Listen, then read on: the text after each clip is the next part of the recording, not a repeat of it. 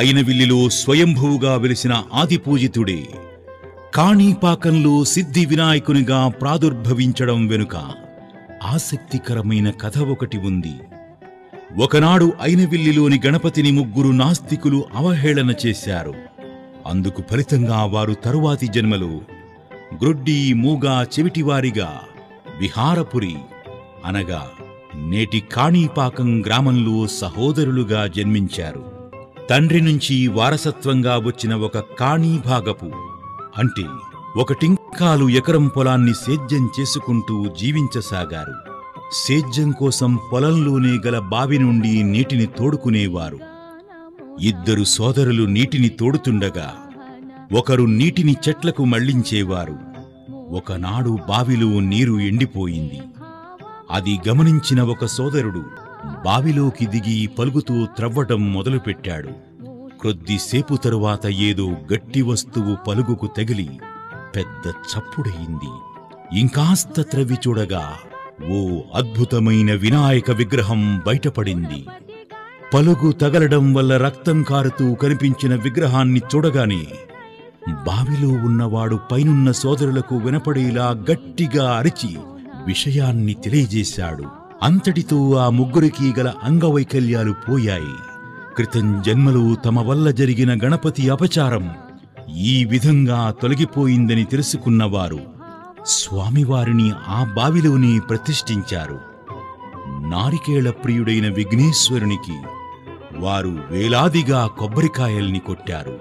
ఆ నారికేళ జలం పొలమంతా ప్రవహించింది.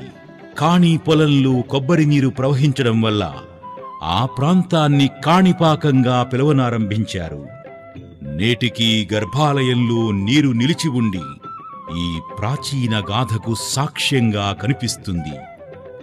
ఈ విధంగా ఈనాటి కాణీపాక సిద్ధి వినాయకుడు ఇక్కడ నెలవై పూజలు అందుకుంటున్నాడు. చారిత్రకంగా కాణీపాకం ఆలయాన్ని పదకొండవ శతాబ్దంలో కులోత్తుంగ చోళుడు నిర్మించాడు అనడానికి ఆధారాలు ఉన్నాయి. అనంతరం విజయనగర చక్రవర్తుల కాలంలో మరింత అభివృద్ధిని పొందింది.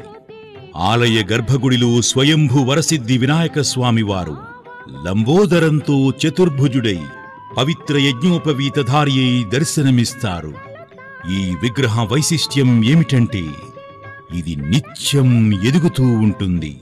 సుమారు డెబ్భై సంవత్సరాల క్రితం ఓ భక్తుడు అర్పించిన వెండి కవచం నేడు పట్టలేదు. ఇదే స్వామివారి ఎదుగుదలకు నిదర్శనం.